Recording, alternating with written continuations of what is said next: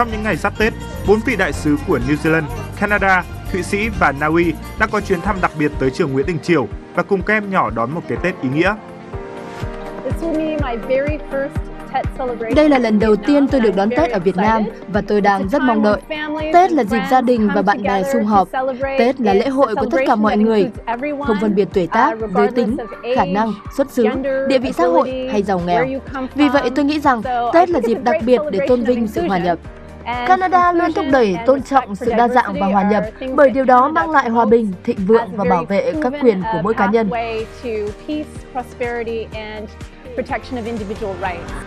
Với thông điệp tôn vinh sự hòa nhập, các đại sứ đã cùng các em nhỏ khiếm thị nơi đây gói bánh trưng, cùng giao lưu với các em, truyền tải thông điệp và tinh thần về làm tốt, về sự tử tế trong xã hội. Tôi mong rằng trong năm 2019, chúng ta sẽ cùng nhau xây dựng một xã hội hòa nhập, nơi mọi người đều được tôn trọng và đánh giá cao. Trong tiếng Việt, các bạn có câu tương thân tương ái, thể hiện trọn vẹn tinh thần này. Còn trong tiếng Maori, ngôn ngữ bản địa của New Zealand, chúng tôi có chữ Kotahitanga, cũng có ý nghĩa là hợp nhất và đồng lòng. Khi đồng lòng, chúng ta sẽ trở nên mạnh mẽ hơn. Tôi mong rằng năm 2019 sẽ là năm của sự hòa nhập. Hòa nhập nghĩa là không ai bị bỏ lại phía sau. Điều này có nghĩa đặc biệt quan trọng với trẻ em, tương lai của xã hội chúng ta. Ở ngôi trường này, thật tuyệt vời khi được chứng kiến tất cả các em thực sự hòa nhập.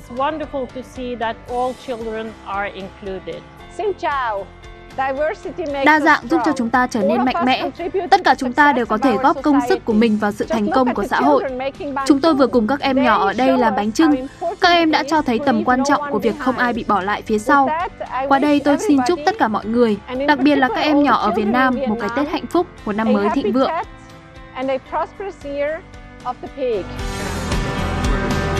Có hẳn đang luộc hẳn không ạ? Hay là... Đúng rồi!